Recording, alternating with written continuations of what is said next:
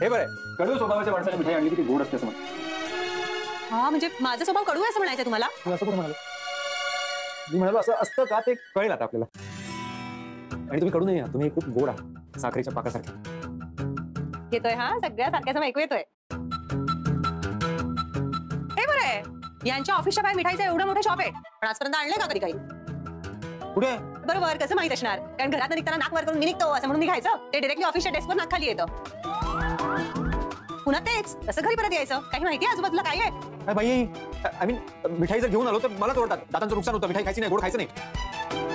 आणि नाही आणलं तर त्यांच्यात बायको जागी होते. नाही म्हणजे डील कसं करायचं आपण? कसली डील करू नका घ्या. लाडक्या बहिणीला जिलेबी भरवा.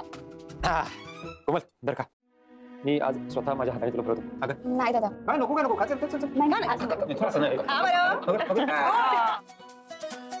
आ- आता मी पण. आणि मला काही ज़बरदस्ती नाही करायला लागणार. माझ्या हातून तरी कशी खाईल. हो ना? हे बरं आहे तुमचं. छोटं छोटं छोटं. लवकर लवकर लवकर लवकर.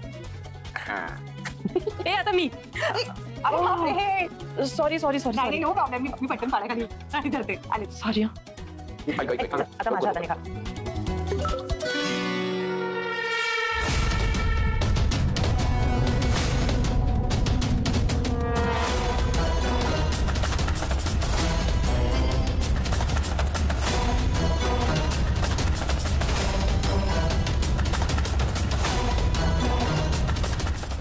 अरे देवा। अहो सागरची आई हा? हे बघा दूध नासलंय असं कसं असलं मी तर फ्रीज मध्ये ठेवलं होतं. काय माहिती? मी एक काम करू का? पटकन खालून दुसरं घेऊन येऊ का? हा ठीक आहे जा जा.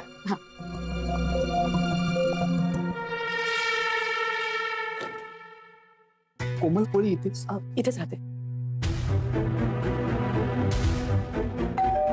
मी बघते. हा बोला. मी अभिषेक केनी. अ, कोमल आहे का?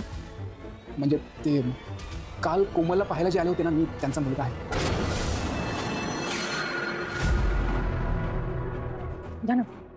हो. मम्मी स्वाती कोणाला घेऊन आले सात काल कोमलला बघायला ते केणी आले होते ना. हा त्यांचा मुलगा अभिषेक.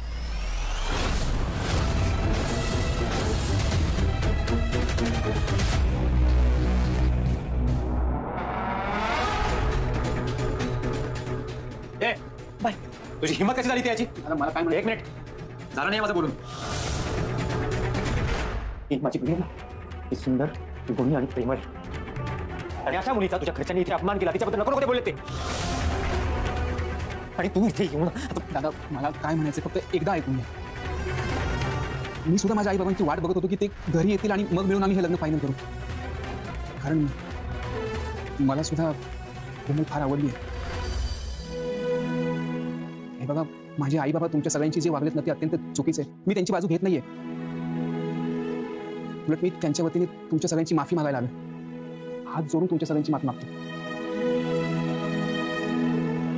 प्लीज मला आणि त्यांना माफ करा. शब्द अशी गोष्ट आहे अभिषेक. एकदा तोडून बाहेर पडले की परत नाही घेता येत. जेवढं नुकसान व्हायचं तेवढं होऊन गेलंय. तुला माहिती कालपासून माझी बहीण काही खात पित नाही असून बोलत नाही आणि तुम्ही मी का आला होता काल? आलाच नसता तर बरं झालं असतं. आणि जाणून बुसून लपवलं नव्हतं तिचा प्रॉब्लेम माझ्या काळात क्युअर झाला होता म्हणून सांगितलं होतं पण तुझ्या घरच्यांना ऐकूनच घ्यायचं नाही ना हे सगळं. हो आणि आरडाओरडा केला तो वेगळाच आय नो म्हणजे ते अत्यंत चुकीचं वागले. पण माझ्या बाबांना पटकन राग येतो त्याच्यामुळे माझ्या पोराचा राग पण तुम्हाला माहित नाही हं. मी शांत आहे तुम्ही निघून जा आता खूप मागे पडते दादा मला काय म्हणायचं फक्त एकदा ऐकून घ्या. मला कोमलशी बसून फक्त एकदा बोलू द्यात ए आमच्या पिढीकडे नज़र वर करून जरी बघितलं असतं तर तुझं काय होईल तुला कळणार नाही कळलं? हे बघा मला फक्त एकदा बोलू एकदा तिच्याशी बोललं ना की मी हे सर काय ऐकायचं नाही. दादा, मी- मी खरं एकदा सांगितलं नाही का? दादा, दादा, मला मला चले तुमची एक. मला ऐकून तर घ्या. दादा, दादा, दादा. कोमलशी कोमल दादा प्लीज़ मला चले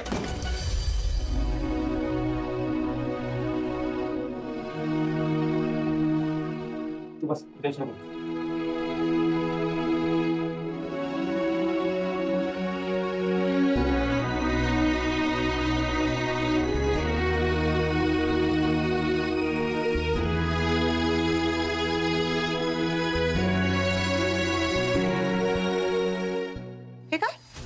काय झालं आरडाओरडा कसला ऐकू येत? होता आणि काय झालं? तुमचे सगळ्यांचे चेहरे का पडलेत? काल कोमलला बघायला ते केणी आले होते ना? हा. त्यांचा मुलगा आला होता अभिषेक. त्यांचा मुलगा इ- इथे आला होता आता. माफ़ी मागायला. मग? पु- पुढे काय? तो तो गेला का? गेला का? गेला. जातच नव्हता. हाकलून दिला त्याला इथून. सागर का? का? का म्हणजे? कसे वागले ते काल कोमल सोबत? हो त्याचे आई बाबा तसं वागले. तो नव्हता वागला ना? आणि तुम्हीच म्हणताय ना तो त्याच्या आई बाबांच्या वतीने माफ़ी मागायला आला होता ना? मग तुम्ही कसं काय त्याला जज करून टाकलं Judge? सागर तुम्ही पण ना तुमचं ना डोकं फिरलेलं असलं की कशाचाही साराचा विचार करत नाही तुम्ही. तुम्ही तरी लक्ष द्यायचं ना थांबा मी आले. मुक्ता अगं पण यांना एक जगातल्या सगळ्या चुकीच्या माणसांचा पुळका असतो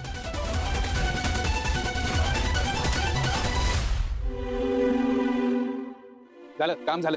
तुम्ही जे जे सांगितलं ना ते सगळं केलं आणि मला सुद्धा खाऊन झाला. खूप लागलं का? हा म्हणजे ठीक आहे आता काय तुम्ही एवढे पैसे देताय म्हटल्यानंतर नाही जाणवलं एवढं. फक्त लग्नासाठी तयार राहा. एवढी कळत तुला सोसावी लागेलच. मग मी तुला मालामाल करेन. अरे लाईफ सेट होईल तुझी. तर मला एक गोष्ट कळत नाहीये. तुम्ही हे असं का करताय? म्हणजे माझं लग्न झालं हे तुम्हाला माहिती आहे तरी सुद्धा तुम्हाला तिचं लग्न माझ्याशीच लावायचं का?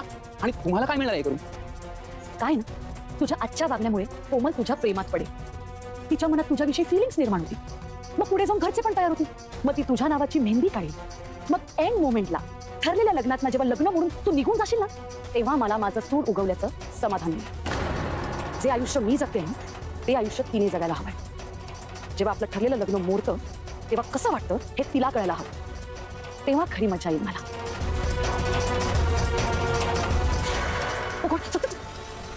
लप लप.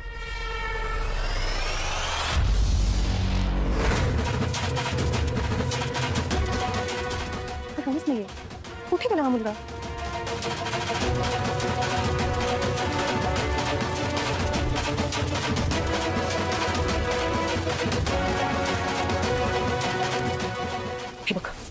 करून त्या कोमलला तुझ्या प्रेमात पाड? तिच्या जितक्या जवळ जाता येईल तितक्या जवळ जा. अरे लव्ह लेटर्स वगैरे लिही ना तिला? ते सॉफ्टवेअर्स वगैरे दे. या अशा मुलींना ना हे सगळे असे फालतू चाळे आवडतात. कळलं? काहीही करून ती तुझ्या प्रेमात पडली पाहिजे. कळलं? हं. चल आता तू आणि हो मागे वळून बघू नको. सरळ निकाय हो? चल, जा. नशीब. मुक्ताने मला त्याच्याशी बोलताना पाहिलं नाही. नाहीतर माझा सगळा प्लॅन आधीच फसला असता. पण सावनी मानला तुला? काय प्लॅन केलायस तू? आता खेळात खरी मज़ा येईल. अरे देवा इथे कुठे जाते मी मला तर दूध आणायला जायचं दूध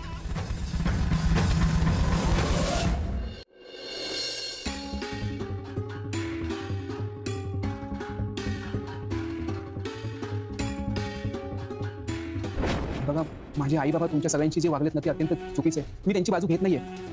उलट मी त्यांच्या वतीने तुमच्या सगळ्यांची माफ़ी मागायला हे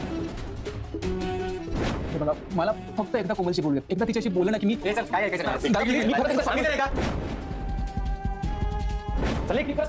मला ऐकून तर कोमल दादा प्लीज़ मला चले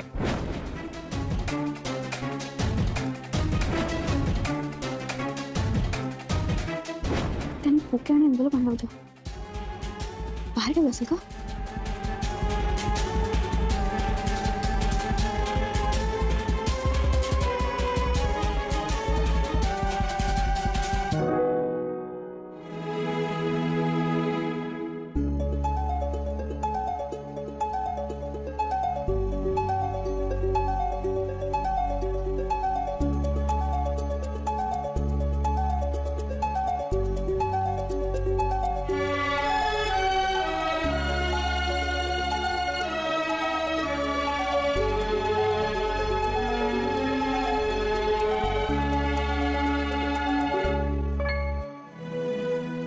कोमल कोणत्याही मुलाला भेटण्याचा आणि मुलीला बघण्याचा कार्यक्रम खरं तर किती आनंदाने पार पडायला हवा.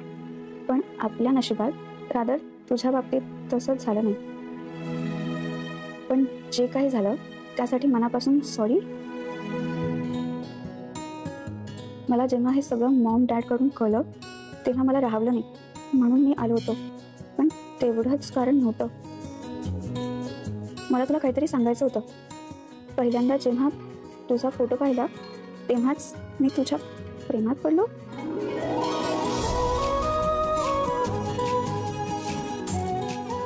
आपलं नातं जुळेल असं मनातून कुठेतरी वाटत होतं. व्हिडिओ कॉलवर सुद्धा तू काय बोर हसलीस? आणि मी ब्लँक झालो म्हणून काही बोललो नाही. पण काल माझ्या आईवडिलांनी रंगाचा बेरंग केला. ते जसे वागले त्यामुळे कदाचित हे होऊ शकणार नाही. अशी भीती मला वाटते. आणि तसं होऊ नये म्हणून त्यांच्या वागणुकीसाठी मी तुझी माफ़ी मागतो. एवढं सगळं घडल्यानंतर तू मला स्वीकारावं माझा हट्ट नाही. पण तुझा चेहरा डोळ्यासमोरून जात नाही. म्हणून सांगतो, मी तुझ्याबरोबर आयुष्याची स्वप्न रंगवायला सुरुवात केली होती. आता ती कधीच पूर्ण होणार नाही, याची मला कल्पना आहे. एक गोष्ट मात्र नक्की, मी कधीच तुला विसरू शकणार नाही. तू कायम माझ्या आठवणीत राहशील.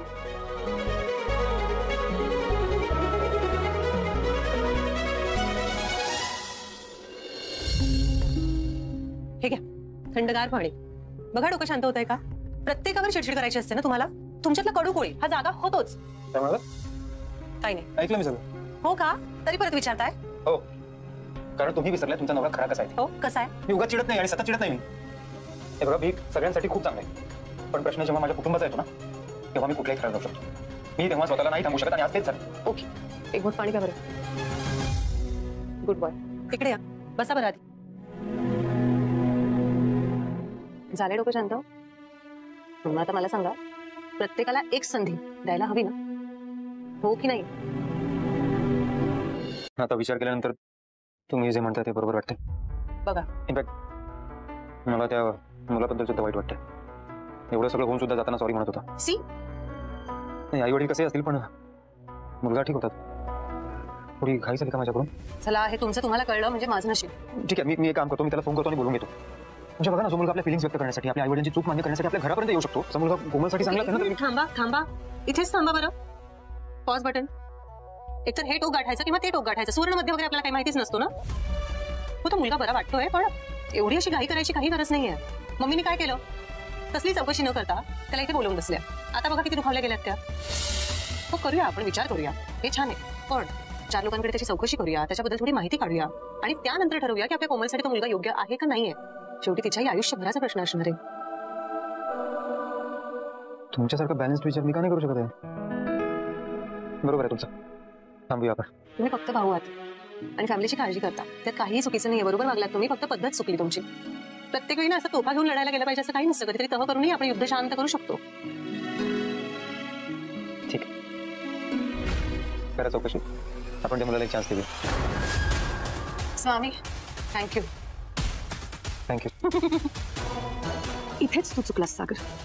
आता तुझ्या चुकीचे परिणाम तुझ्या लाडक्या बायकोला आणि अख्ख्या घराला भोगावे लागतील. चला मी जातो ऑफिसला.